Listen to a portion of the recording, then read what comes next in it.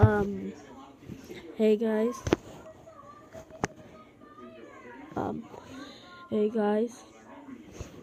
Um, in a live stream, and I'll leave you into the, in the in the link below where to see me live stream.